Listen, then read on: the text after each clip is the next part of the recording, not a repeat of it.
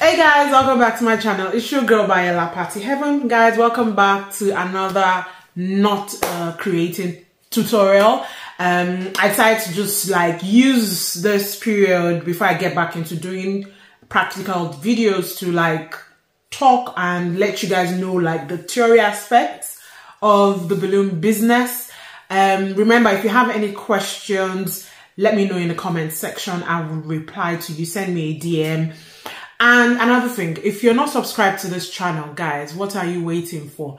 Statistics shows that just only 85% of the people that watch my videos are subscribed. And it's just the remaining like 15% that are subscribed. Guys, if this channel has blessed you one way or the other, or if you enjoy my videos really, please make sure, double check if you're subscribed or not and then click the notification button below so that YouTube will notify you and would also get the information that people actually love seeing my videos. If that statistic doesn't increase, this channel will not grow. Do you want this channel to grow or not? Please help me. And so also, if you'd like to support my videos in any way, there's a button below that says thanks. It's like a super thanks kind of uh, reaction where you can support my channel with whatever you can. Um, so yeah, that's um, the, the, the sign is just below, just by the subscribe button. Okay guys, so today's video um, question was sent by two different people. One is Marcos and because I have their names written down and the other person is Crystal Hernandez. So the question from Marcos is, um, is it Marco? Sorry if I'm not pronouncing your name right. Um, so his question was how to build a dialogue with a client, what what needs to be said, and how to build a lasting relationship.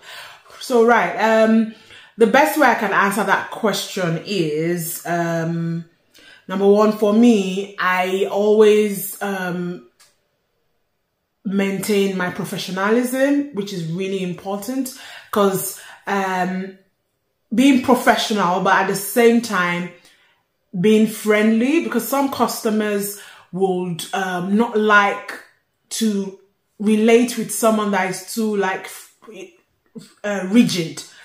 So you have to have, and you know, with text, especially if they are contacting you via Instagram or social media, text can be kind of like funny. It could come back in a funny way. So you need to make sure when you're, you know, having that first conversation or, you know, uh, interaction with that client for the first time, you need to make sure you're making them feel comfortable chatting with you because you're going to be part of their memorable day. So you want them to feel comfortable and relaxed in the first instance. Um, and so you said what needs to be said and how to build a lasting relationship. So I've meant I've answered the part of what needs to be said. Building a lasting relationship is, you know, it starts from the first minute you start talking to that client up until the event day, you know. Some clients, they want to talk to you, you know, constantly to be reassured that everything is going to be okay. So you need to make sure you do that. Another thing I always do is, um, I don't, yes, I want to be paid, but I don't make it seem like it's just all about the money. I need to make sure I make sure I I I I give that friendly approach to that client. Um, yes, it's business, but like I mentioned earlier, some people just want to feel really comfortable. They want that person. Even for me, when I'm like approaching another business, it is how you respond to me on the first day that would make me actually go ahead and book you for whatever I want to do. I like uh, a business I'm approaching to be kind of like friendly, um, approachable, and not too rigid. So some people do not mind. They want you to be professional and um, really rigid. But because of what the kind of sector we are in, where it's all about relationship, you know, um, you need to be wary of how you, you know, you give that first approach.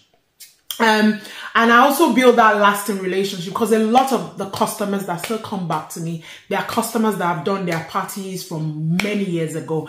I've had a customer from 10 years ago. I have a customer that I've actually done our kids parties every year they have a party. And I, am sure it's like that for a lot of people. So you need to make sure you have that great relationship. Um also also when the event is done i try and reach out to the customer to get a review you know to see how the event went. And if there there's any um um you know mistakes or whatever that would have happened um i make sure you know i apologize and rectify that. Okay let me give you an instance uh, many years ago, like, like when I first started doing events, I had a client that I got late to our event.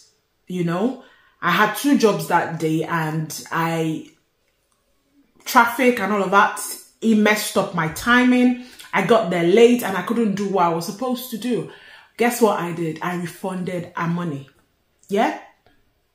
I gave her our money back despite still being able to like, you know, do a bit of what she asked me to do. But I got there late. So she deserved to get her money back. Guess what? The client still comes back to me to book for our events because I gave her, you know, I, I, I was thoughtful in my approach. So yeah, you need to make sure whatever you're doing, you know, in that moment you're relating, interacting, make sure you are professional at the same time, not too rigid, if you get what I mean. If you want more, you know, understanding in regards to these questions, let me know in the comment section. So the next question is from Crystal Hernandez. Uh, so Crystal has asked, advertising, how to attract clients on social media. So with social media, it's crazy. Um, for me, um, with the way especially Instagram, the algorithm and all of that, the way it works, it keeps changing every time, which is really, really annoying. And honestly, I am not stressing myself over Instagram anymore. Um, in the past, I used to get myself worked up and all of that. Now I just do what I have to do, which is make sure I post daily. I don't post and just you know, don't post for the next few days or whatever. I make sure I post daily. You can try doing Instagram ads because there's so many business fighting to see just a small amount of people. So you need to make sure you do not um, skip your posts. Make sure you, and when you're posting, make sure you are interactive. For me, I've, I've gotten tired of doing all of that, but I think it really, it still works. Make sure you're sharing. You know, people want to see behind the scenes of what you're doing these days. They want to know what's going on, how you came about that. So if you can just do little video clips of your creations while you're doing it, upload that, you know, the finished products, try and share, you know, um, sharing works to when you share information in regards to your business. You don't have to share too much, even if it's just a little bit. People want to see that. That helps engagement. Um, so yeah, so and then make sure you're using all the, you know, Facebook, Instagram, TikTok, you know, Twitter, whatever it is, you know, you have access, make sure you're using everything. Use Snapchat. And above all, the main thing is word of mouth.